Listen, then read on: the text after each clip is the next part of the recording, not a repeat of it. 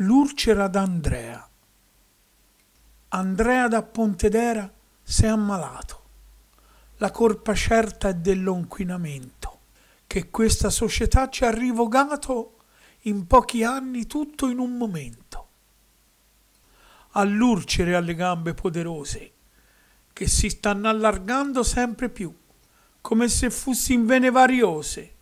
Speriamo che s'arregga un caschi giù. Le arse lastie non le può portare. Se non i gonfiapiedi, poverino. Qualcuno deve pure rimediare per farlo ritornare proprio a modino. Ora che parrucchino gli è in pensione, ne si potrebbe fare qualche iniezione.